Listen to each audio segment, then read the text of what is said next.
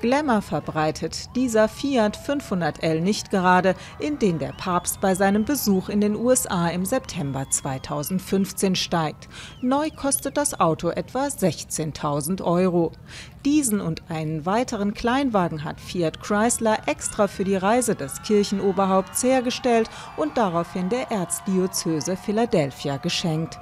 Die Kirchengemeinde will das Auto nun versteigern für einen guten Zweck.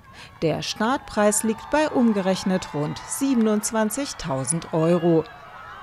Papst Franziskus ist für seine Bescheidenheit bekannt. In Rom wurde er zuletzt in einem Hyundai durch die Stadt gefahren.